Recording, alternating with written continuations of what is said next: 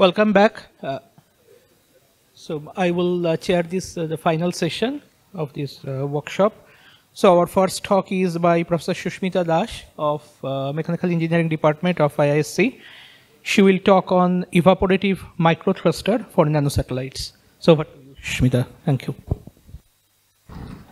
Thank you. Every, uh, thank you. Good afternoon, everyone. I'm Susmita. I'm an assistant professor in the Mechanical Engineering Department at IISc. Uh, so title is Capillary Fed Evaporative Microthruster uh, uh, for Micro and Nanosatellite. So what's a nanosatellite? As the name suggests, nanosatellites are basically small scale satellites. Um, often the size of these nanosatellites are on the range of one, uh, 10 centimeter. So it's a 10 centimeter cube and weight can be from 1 to 10 kg. Right? So there's a surge in the number of missions which has nanosatellites in the recent times because of the applications in short term and low cost communication and surveillance mission for innovative science and experimental payloads and planetary exploration and so on. Just to give an example of the numbers, SpaceX recently launched the most 143 satellites in 2021, out of which 110 was micro and nanosatellites. And ISRO similarly launched 100 nanosatellites in 2017. Right? So, but these nanosatellites come with its own challenges. First is that how do you propel these nanosatellites? right? Because of the small length scales and small size scale, small power requirement, which is on the order of 1 to 10 watt, the traditional uh, or the conventional propulsion systems cannot be integrated with these nanosatellites. So we need micro-propulsion system, which can be integrated with these um, micro uh, nanosatellites.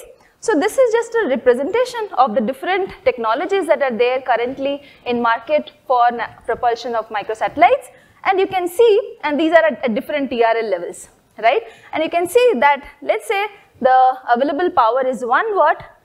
So most of the technologies that are there to get a thrust of 100 micronewton, you need significantly higher power than 1 to 10 watts, which is not feasible, right? So this is a target that we are looking at. Our goal is to develop a technology which can be utilized to produce 100 micronewton of thrust with 1 watt of input power.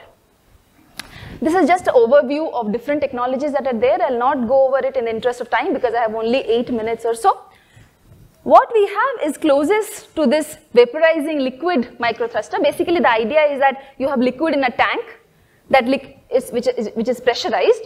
Then that goes to a heating chamber where you have heating occurring, there's vaporization, and that vapor passes through a nozzle to produce a thrust.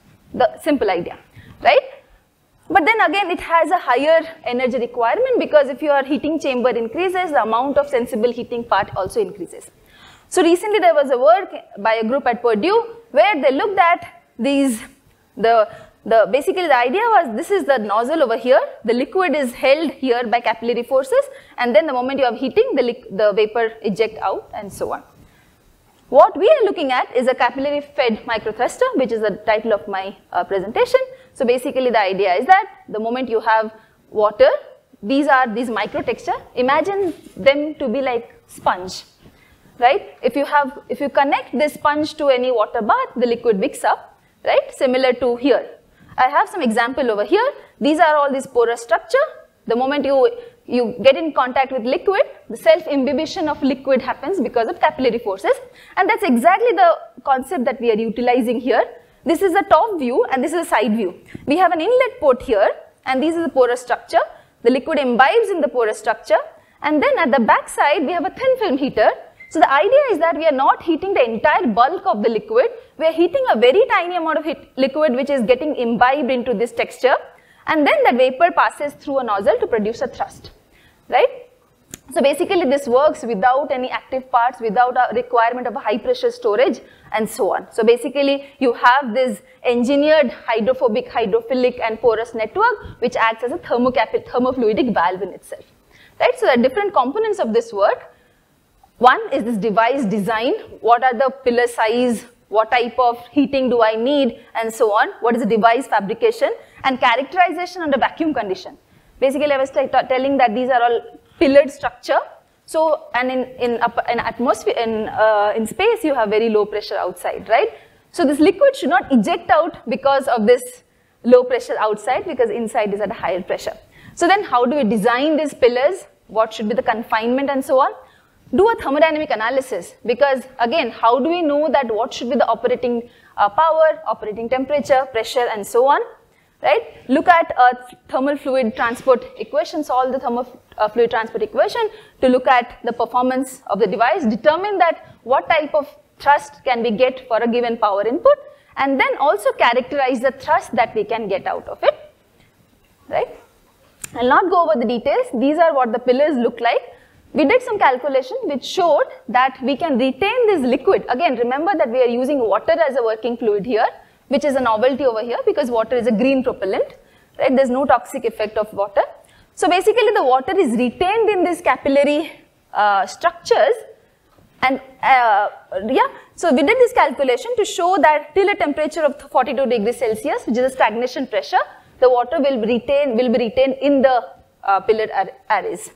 And we, did thermodynamic analysis to show that under isentropic condition, the thrust that you will get is on the order of 100 uh, micronewton for a 1 watt uh, input power.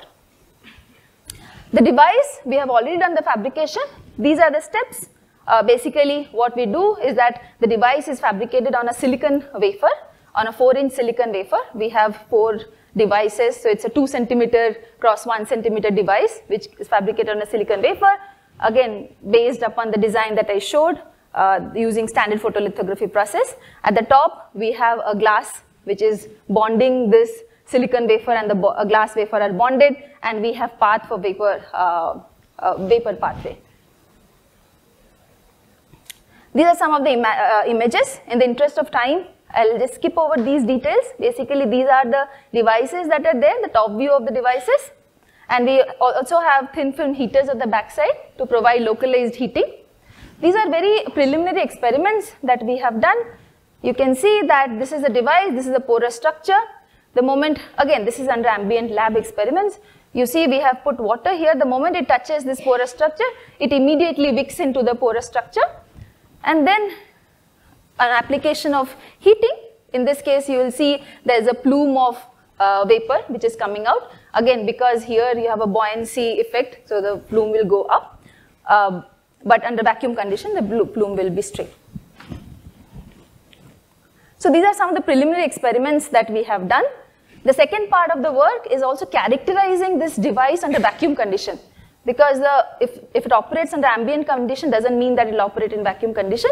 So we are, uh, we are doing this work in collaboration with Professor Pratikash from aerospace department. There's a, there's a vacuum chamber here which can go up to 0.04 millitorr and we have the device and we have the feeding mechanism and we are looking at the characterization under vacuum uh, condition. Again, characterization of wicking and evaporation.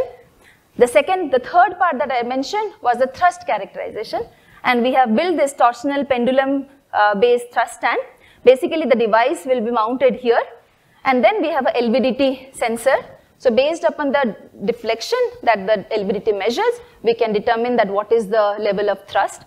So this will again be done. So this we have already designed and fabricated and this is housed in the vacuum chamber itself.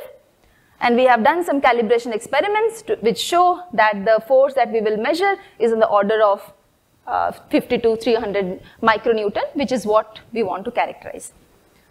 So with that, to summarize, we have designed this passive capillary fed microthruster and we are in the process of integrating it, embodying it so that we can actually package it properly, numerical modeling of the fluid and thermal transport, and then characterization under vacuum condition, capillary retention, evaporative mass loss, and the thrust characterization.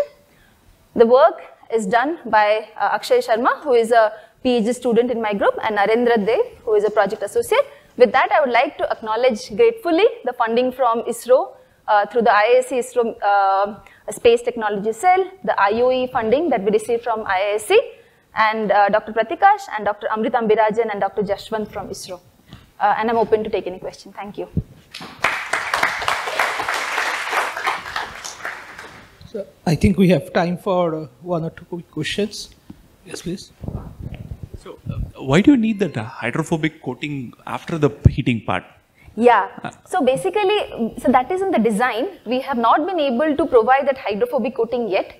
But the idea, if that works, it's great because the idea is that you have wicking happening in the porous structure, but that it will not go beyond that pillared structure. the hydrophobic is just acting as a gate so that the liquid does not imbibe. But since we are doing bonding of glass and silicon, it is difficult right now the, from the fabrication point of view because the bonding is done at a high temperature and hydrophobic coating may not be uh, sustained at that temperature. But right now we are targeting to, I mean, right now whatever we have done is without the hydrophobic coating. But uh, also, when you think of the space application, you, uh, how how quickly can you get the thrust here? I mean, could it Yes, that's a very good question. So basically for the space application, we want the pulse mode and that is what we are characterizing and that's why it's important to keep the thermal mass low. And that's why we have been looking at, uh, I mean, we are using the silicon microtextures and where the, basically the heat transfer path is just in the, along the thickness of the silicon, which is on the order of 500 micrometers. So we are, we are, we are that is a part of this work. Yeah, thank you. Thank you, Susmita.